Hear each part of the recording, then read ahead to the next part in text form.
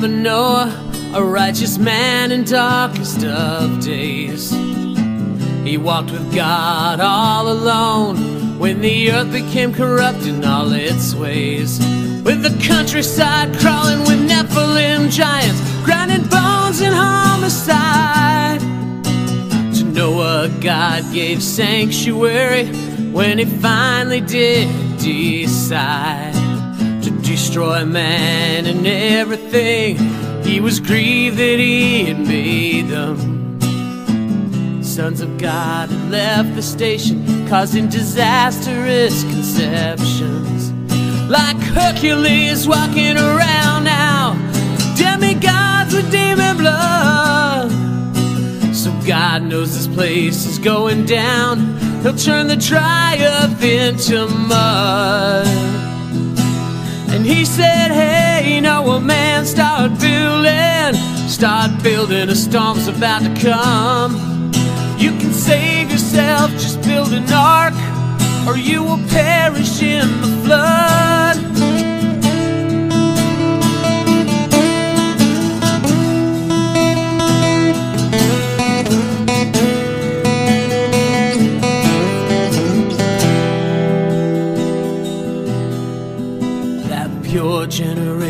father, 600 years old if he was a day, had his sons Ham, Shem, and Japheth, and they were with him all of the way.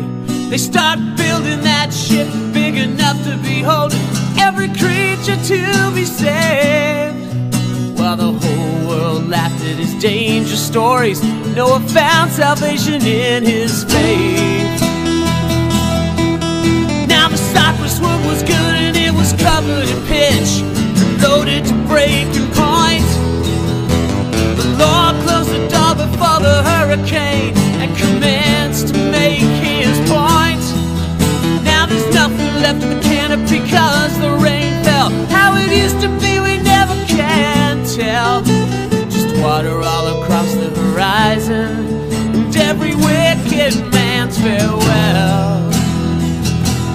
some say those boys had never seen rain then before the clouds opened up above.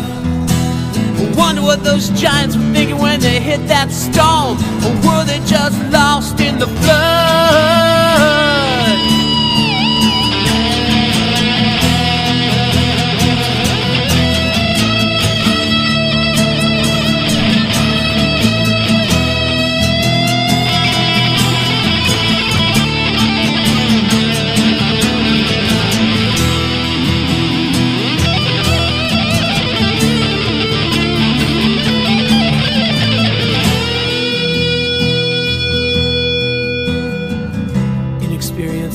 Watch 40 days as the rain pours through the air. Every mountain covered 20 feet. Science says no way, but maybe they weren't there. You might think it's impossible, man, for the land to be flooded everywhere. Likely or not, the rain finally stopped. They floated round that place all year.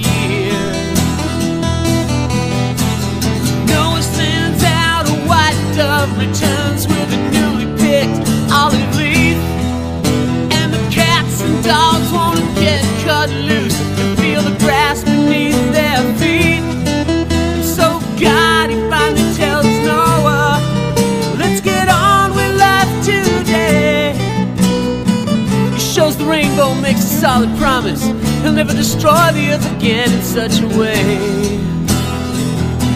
And you can say, hey man, I don't believe that. I think the story's just made up. But Jesus said it'll be just like that before he comes back from above. So I say, hey man.